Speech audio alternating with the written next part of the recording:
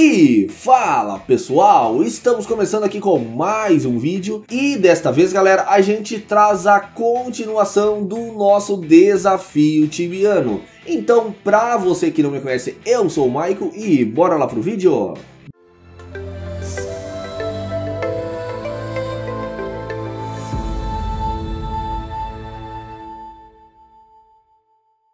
Fala pessoal, um recadinho importante, se tu curte os vídeos do canal, é importante que tu deixe o like e se possível comente aqui no vídeo, pode ser qualquer coisinha, pois de um tempo pra cá o YouTube começou a reduzir o alcance dos vídeos, e fazendo isso, você ajuda a mostrar pro YouTube que o nosso conteúdo é relevante para a comunidade. Então sem mais delongas, muito obrigado e fiquem com o vídeo.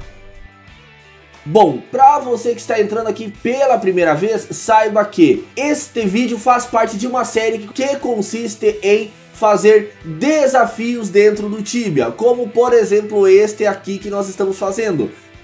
Nós temos que pegar level 100, só que só podemos utilizar HUDs que são consideradas de Yalahar. Então, se você quiser saber mais sobre as regras do desafio, basta clicar no link aqui em cima que tem o vídeo explicativo inicial desta série.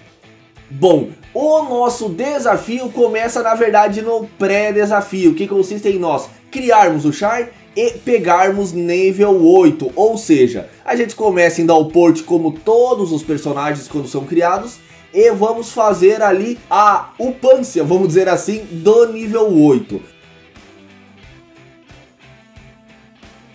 Entre isso também a gente vai fazer a quest do Legion Helmet e por fim a gente vai dar um jeito de chegar em Yalahar. Bom, basicamente é o seguinte, a gente vai ter que fazer o acesso a Yalahar. E claro, com o nível 8 e o acesso já completado, a gente vai começar o desafio. Então bora lá. Primeiramente a gente vai pegar a recompensa diária de 10 Mana Potions. Depois eu optei por tentar vender o Legion Helmet para adquirir alguma grana inicial. Porém não tinha Bui Offer, ou seja, eu não teria dinheiro para colocar no seu offer, eu não teria como vender para ninguém. Então a gente está praticamente zerado, né? Com isso então eu vou ali tentar caçar algumas Amazons ali no Foreign Quarter.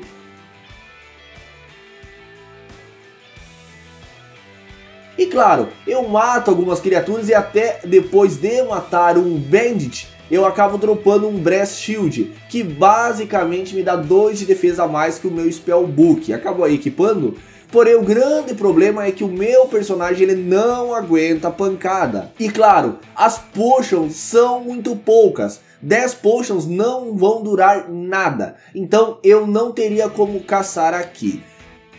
Logo eu volto pro DP e acabo juntando ali com um pouquinho de dinheiro que eu catei, alguns itens, 340 GPs ao todo. Isso, claro, somando o que eu consegui em Downport e também um pouquinho que eu consegui aqui em Yalahar. E vou comprar um Life Ring por mais ou menos 320 GPs.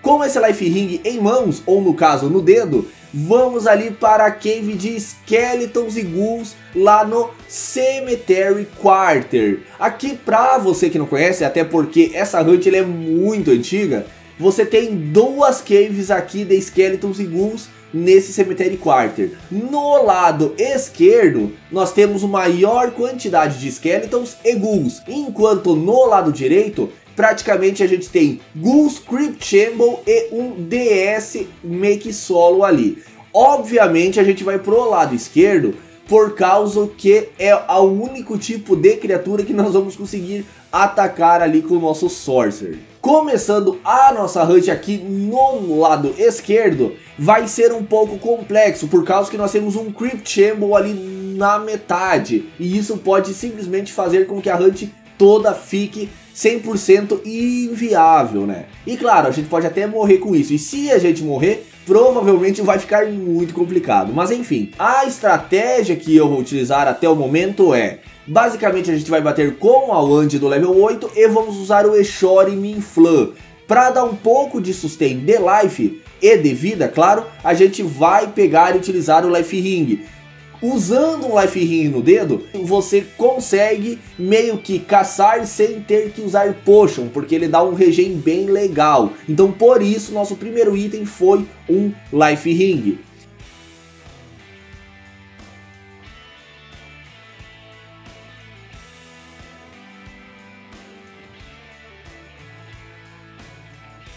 Esse primeiro refil durou 18 minutos. E claro, nesses 18 minutos, que praticamente esgotaram o nosso Life Ring, nós conseguimos apenas o nível 12. Com isso, claro, a gente vai voltar para a cidade para comprar mais Life Ring.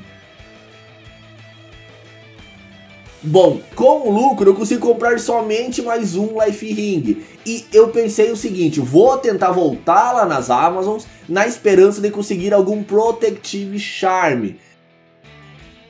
Porém eu vou acabar lurando várias criaturas no caminho e eu não tenho força para caçar aqui ainda. Então mais uma vez eu fui expulso das Amazons aqui no Foreign Quarter. Logo o que me resta é voltar ali para a hunt do Cemetery Quarter novamente.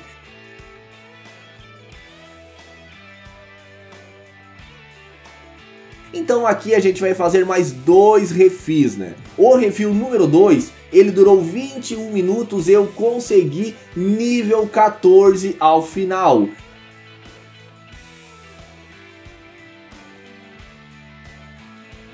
Claro, a gente volta pro DP, com o nível 14 a gente pode comprar ali o Wand of Dragon Breath que vai nos ajudar e auxiliar no dano. E claro, também vamos gastar o restante do dinheiro em vários Life Rings, que é a nossa principal forma de sustain neste início de jornada. E claro, depois disso eu vou voltar para fazer um terceiro refil ainda aqui, que vai durar mais ou menos uns 23 minutos. E ao final a gente termina level 16. E claro, se você viu ali, tu pode mais ou menos perceber que nossos refis não vão durar mais do que 20 e poucos minutinhos. Mas enfim, ao final eu volto pro DP e pelas regras do desafio, como eu joguei no dia, eu vou poder botar treinar, ou seja, posso deixar treinando para no segundo dia continuar ali, né? Já no nosso segundo dia, a gente começa basicamente com ML15 e 3,2k de grana. Eu acabei catando nas últimas runs ali alguns Pelvis Bone, que apesar de não valer quase nada aqui no mundo que a gente está jogando, a gente conseguiu pelo menos levantar uma grana inicial. Então qual que vai ser a estratégia desta vez? Basicamente eu vou comprar tudo em Life Ring e Stealth Ring. O Life Ring vai ser para sustain e ali o Stealth Ring para não apanhar tantos, né? Então a gente vai voltar a caçar lá no Foreign Quarter para tentar fazer alguma grana com os Protective Charm, né?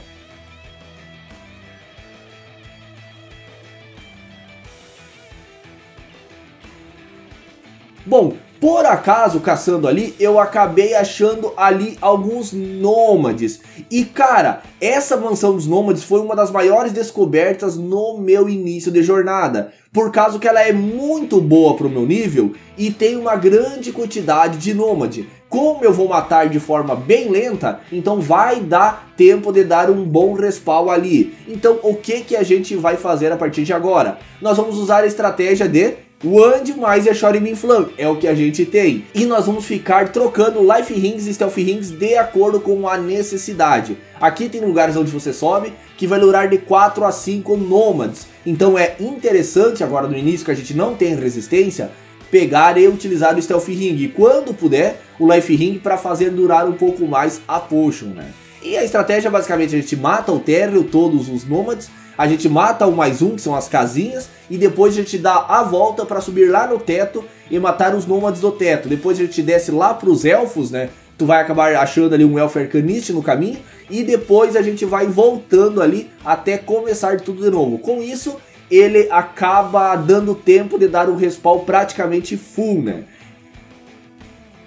Bom, eu cacei aqui basicamente até terminar as potions, então o nosso primeiro refil, ele durou apenas 18 minutos e eu consegui conquistar nível 17. E claro, acima disso, mais importante, a gente conseguiu conquistar 4 Hope Belts, que serão vendidos mais ou menos por 3,2k cada um. De início a gente vai ter que vender no Buy Offer, por causa que a gente precisa levantar uma grana ali, né? Então, voltei pro DP, vendi os Hope Belts e com o dinheiro eu acabei investindo em strikes elementais, que é o Eshori Flan, Eshori Morte, Eshori Frigo e etc e tal. Comprei mais Life Rings, mais Stealth Rings e mais 60 Mana Potion. E agora a gente vai modificar um pouquinho. A gente vai caçar ali com a Wand mais o Eshori Morte. Apesar do ML não estar muito bom, a gente vai bater muito mais, né? Até porque o Eshori Minflan ele tem dano limitado. E claro, a gente caça mais uma vez aqui e mais precisamente dois refis. O nosso primeiro refil durou por volta de 20 minutos e eu consigo conquistar o nível 19.